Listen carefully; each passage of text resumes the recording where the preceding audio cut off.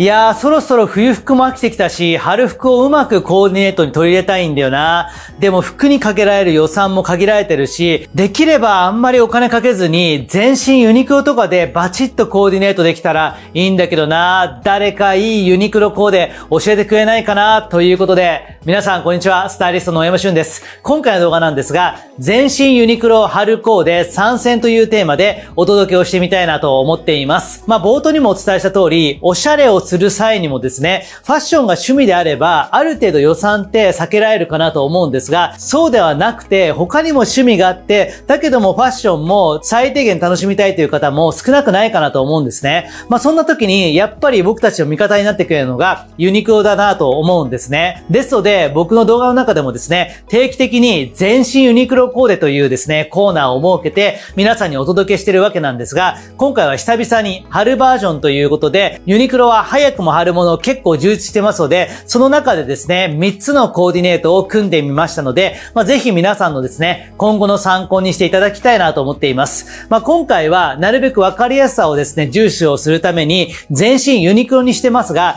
必ずしも全身ユニクロにする必要はなくて、まあ、ところどころですね、ユニクロを使ったり、その他のセレクトショップのオリジナルを使ったり、うまくミックスするのが一番理想的なんですが、まあ、全身ユニクロでもある程度のおしゃれはできるということが証明できればなと思っていますので、ぜひ皆さんもですね、よかったら最後までお付き合いいただければなと思っています。こちらのチャンネルでは大人男性に向けて、メンツファッションの今日ですね、なるべくわかりやすく解説をしていますので、よかったらチャンネル登録やグッドボタンの方もよろしくお願いします。それでは早速、行ってみましょうはい、ということで、ここからはですね、具体的に全身ユニクロ春コーデ、皆さんにご紹介していきたいなと思ってるんですが、まず一つ目のコーデなんですが、今回主役にしたのがですね、こちらのブルゾンですね。丈で言うと、まあ、ショート丈ぐらいになるんですが、春の新作のウィンドウプルーフスタンドジャケットという商品ですね。これはですね、昨日買ったばかりのアイテムなんですね。正直、僕の目は節穴でした。ほぼですね、毎日ユニクロのサイトはチェックしてるんですが、このアイテムはですね、ですね完全に見落としていましたね。お店で何かいいアウターないかなと探していたところですね、あれこんなのあったっけと思って試着してみたら、これがめちゃくちゃ良かったんですね。なぜこれをいち早く紹介しなかったのかというですね、後悔の念があるんですが、今からでも決して遅くはないということで、え実際に買って皆さんにレビューしたいなと思っています。まあ、いわゆるですね、こう、シャカシャカ系のですね、ライトなアウターになっていまして、気軽にですね、春に羽織ることができるんですね。まあ、この手のものだと、僕の動画の中では、ノースフェイスのですね、コンパクトジャケット、このあたりを皆さんにご紹介することが多かったりだとか、まあ、先日の GE の動画の中でも、スタンドカーのブルゾン、皆さんにご紹介しました。あれもめちゃくちゃ良かったんですが、それと同じような系譜で、スポーティーな見た目なんだけども、フードはついてないで、スタンドカラーになっているというところで、まあ、今っぽいデザインが活かされているというのが、こちらのアウターです。まあ、ちなみにサイズなんですが、身長164センチ、53キロの僕で、あえてですね、M を着ることが多いんですが、ワンサイズ上げて、L にしました。そうすることで、程よいゆとりを出しながらですね、トレンド感もほんのり漂わせながら着ることができるので、これはかなりかっこいいですよ。スタンドカラーの部分もすごく今っぽいし、デザインはミニマルなんですが、このようなポケットの付け方とかも含めて、ちょっとミリタリーっぽい要素もありながらもですね、非常に仕上がりがいいんですね。まあ、カラーはいくつかあったんですが、やっぱりですね、ブラックが高見えするんですよね。まあ、他のカラーも春らしくて良かったりするんですが、なるべくですね、アウターというのは主役級のアイテムなので、素材のの質感があまり分かりづらいですね。ブラックぐらいのシャープな方を選んだ方が、僕はですね、高見えするんじゃないのかなということで、今回こちらをですね、メインに据えた着こなしを、まずは作らせていただきました。で、上半身がブラックで重苦しいんですね。なので、ボトムスに関しては、こちらですね、ユニクロのデニムですね。商品名はリラックスアンクルジーンズってやつですね。これがですね、隠れた名品でかなり良かったんですね。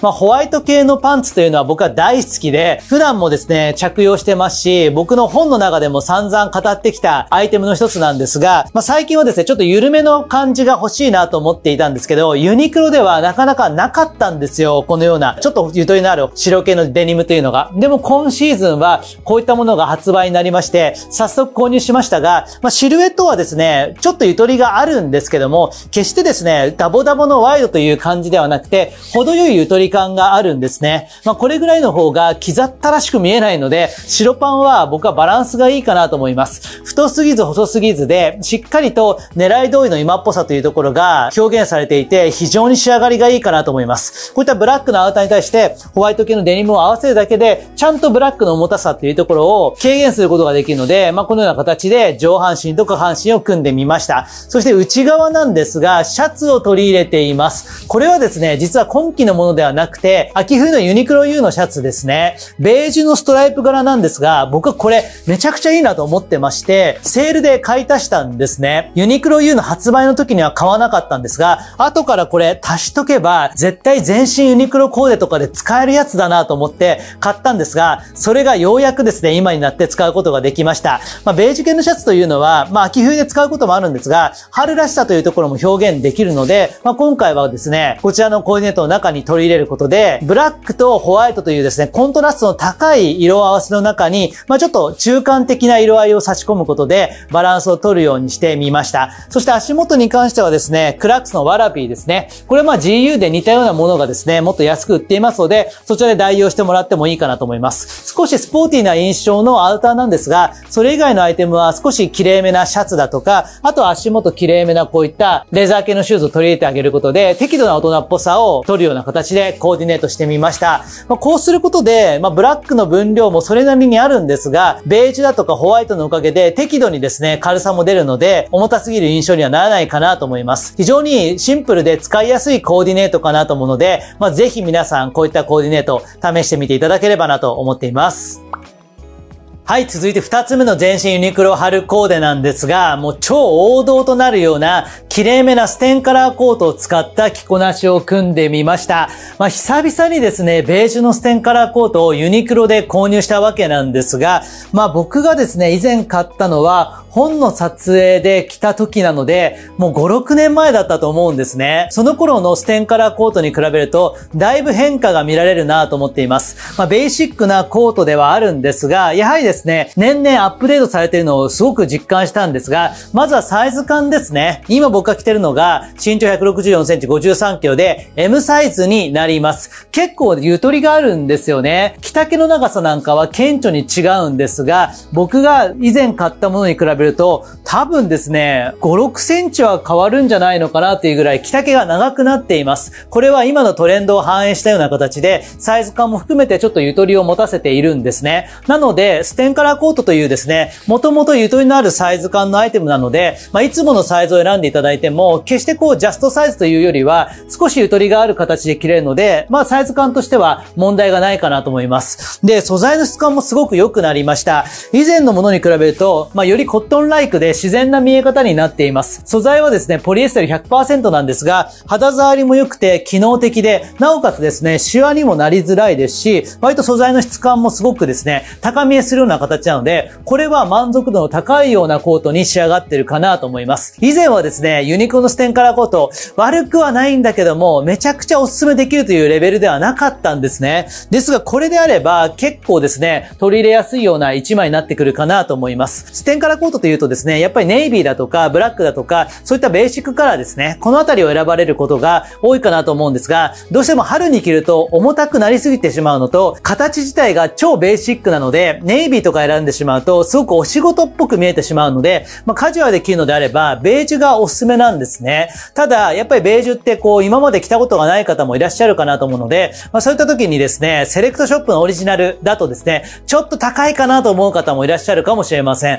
まあ、そんな時にユニクロだと、やはりですね、価格帯も抑えめで、ベージュの色味もすごくいい感じなんですね。すごく個人的には綺麗なベージュだなと思うので、こういったものを1枚買っておけば、春だけではなくて、秋にも着ることができるので、すごくこれは使い勝手のいいようなアウターになっているかなと思います。そしてその下にはですね、ミドルゲージのモックネックニットですね。これはですね、今年の1月初旬に買ったようなアイテムでですね、まあユニクロにとってはですね、定番的なアイテムなんですが、ライトグレーという色味がなかなか良くてですね、ねベージュとライトグレーみたいな中間色で、なおかつ明るい色で上半身をまとめるというのが結構王道的で使い勝手がいいんですね。で、春らしさも出せるんですが、まあ、ボトムスに関しては相変わらずブラックでギュッと引き締めるような形でバランスをとっていただくんですね。これでボトムスまでですね、淡い色だと結構ぼんやりとした印象になってしまうので、どこかで一色ギュッと引き締める要素があるといいかなと思うので、まあ、今回はブラックのタックワイドパンツですね。こちらを合わせてみましたが、まあ、すごくバランスがいいんじゃないのかなと思います。で、足元はですね、ジャーマントレーナーのホワイトを合わせることで、少しですね、爽やかな要素と、その中にもやぼったさがやや入ってるのが、ジャーマンの良さかなと思うので、このような形で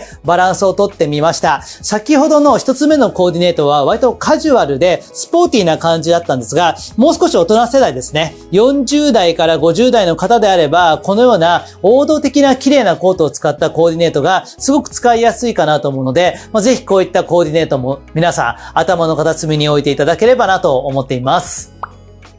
はい、続いてラスト3点目の着こなしなんですが、今回はですね、こちら、ユニクロのですね、今季も傑作だなと思うですね、UTT デニムジャケット、こちらを使ってですね、コーディネートを組んでみました。まあ、先日もこちらはご紹介したので、皆さんもご存知かなと思うんですが、まあ、今年のですね、トレンドアイテムの一つかなと思います。まあ、デニムを使ったこちらのようなカバーオールだとか、あとは G ジャンですね。このあたりは今季、いろんなブランドでも扱いがあるんですが、まあ、ユニクロのデニム UTT ジャケットはですね、非常常に仕上がりが良く、価格帯も抑えめなので、1枚持っておいて、まず損はないかなと思います。まあ、すでに無印良品の方のですね、デニムのカバーオール買ってる方は、まあ、そちらで代用していただくのもいいかなと思うんですが、今回はこちらを中心に据えながら着こなしを作ってみました。まあ、カジュアルな見た目ではあるんですが、一定の丈の長さがあるんですね。お尻が隠れぐらいの長さがあるので、そこまでカジュアルに見えすぎないところが一つのポイントになってくるかなと思います。あとはアイテム的に旬な雰囲気が漂うので、まあ、こちらを主役にしながら、それ以外のアイテムはちょっと綺麗めな方向に振ってあげると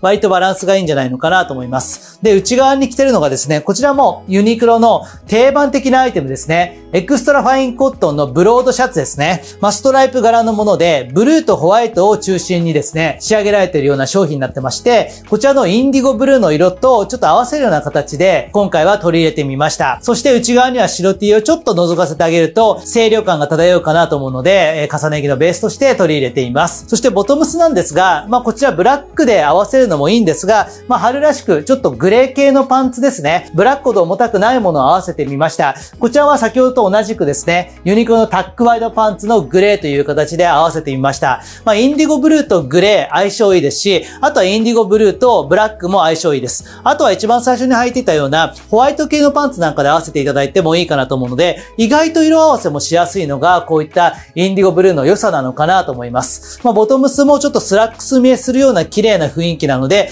綺麗め。綺麗め、綺麗め、カジュアルという形で、まあ、全身のバランスをとっています。で、足元なんですが、今回はグレーのパンツに合うものを何がいいかなということで、えー、ブラックのサンバですね。これもですね、僕結構日常からよく履いていまして、グレー系のパンツを引き締めたりだとか、ホワイト系のパンツの足元にですね、ブラックのサンバを持ってくると結構バランスが良かったりするんですね。まあ、トレンド的なアウターなので、それとリンクさせるような形で、今旬なスニーカーのサンバのブラックを合わせるという形で、え、今回はバランスをとってみました。まあ、この着こなし自体もすごくシンプルで使いやすいので、まあ、ぜひ皆さんも参考にしていただきたいなと思います。まあ、カバーオールみたいなカジュアルめのアイテムの場合はですね、まあ、世代的的にはちょっと40代後半以降だと、ややカジュアルかなと思うこともあるかなと思うんですが、まあ、そんな時には、ブラック系のパンツでより引き締めてあげるだとか、まあ、シャツストライプ入れてあげて、シャツ綺麗めにしたりだとか、あと足元をちょっとローファーにしてもらうだとか、少し綺麗めな要素を高めてもらうと、僕より上のですね、40代後半以上の世代の方にも使っていただけるコーディネートかなと思うので、ぜひ皆さんトライしていただければなと思っています。いやー、いかがでしたでしょうか？皆さん。今回の動画では、全身ユニクロ春コーデ参戦というテーマでお届けをさせていただきました。毎回この企画はですね、僕自身も楽しみにしてるんですが、それなりにハードルが高いんですね。まあ、全身ユニクロでお洋服を揃えて、それをうまくコーディネートするというのはですね、簡単ではないんですね。まあ、それだけ自腹でですね、いろんなユニクロの商品も買わなくちゃいけないですし、まあ、準備も結構大変なんですが、まあ、なるべく多くの方にファッションを楽しんでいただくために、ユニクロを中心にそういった着こなしというのも結構需要があるかなと思うので、まあ、よかったら皆さんの春の着こなしの参考にしていただければなと思います。まあ、基本はやっぱりアウターですね。アウターが変わると雰囲気はだいぶ変わるので、まあ、デニームのカバーオール風のアイテムですとか、まあ、綺麗なステンカラーコート、またちょっとスポーティーな感じのですね、アウターですね。このあたりがあれば結構様々なコーディネートが作れるかなと思うので、まあ、ぜひ皆さんも気に入ったものがあればですね、店頭でチェックをしていただければなと思っています。まあ、これからもこちらのチャンネルではこのような形でメンズファッションの基本、なるべくわかりやすく解説をしていきたいなと思ってるんですが、なかなか普段の動画ではお伝えすることができないような、セレクトショップのオリジナルからドメスティックブランド、またはちょっと通向けの専門ブランドに関しましては、僕がもう一つ運営してます、YouTube のメンバーシップチャンネルの方で詳しめに解説をしています。週に2本のオリジナルの動画と、それに加えて週に1本ですね、ライブ配信をやっています。皆さんからいただいたご質問に直接お答えする形で、ワイワイ楽しくやっていますので、気になる方はですね、こちら動画の下の概要欄の方からチェックをしていただきたいなと思っています。また、普段なかなかゆっくりと動画を見る時間がない方のために、オンラインサロンというものをやっています。こちらは動画ではなくて、文章と写真ベースでおすすめのアイテムですとか、コーディネートの解説を毎日お届けしています。まあ、だいたい一記事あたり2分ぐらいで読めるような分量になっていまして、僕もですね、ほぼ毎日記事を書いていますし、僕以外のスタイリスト専門家も記事を書いてくれています。また、参加者の皆さんも気軽に記事を書くことができるので、様々なおしゃれが好きな男性が集まって、ワイワイ楽しめるようなコミュニティになっていますので、気になる方はこちらも概要欄の方からチェックしていただきたいなと思っています。以上、スタイリストの上山俊でした。また次回の動画もお楽しみに。